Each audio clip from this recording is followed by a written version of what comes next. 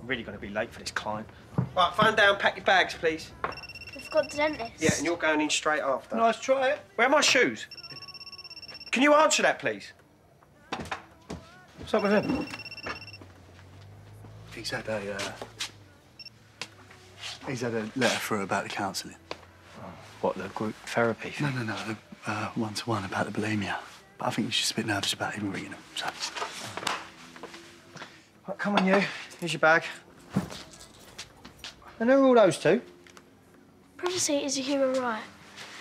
And we're already late. Ooh, Lexi's got a boyfriend. not have. Three dads, and you think I'm on a boyfriend. Charming.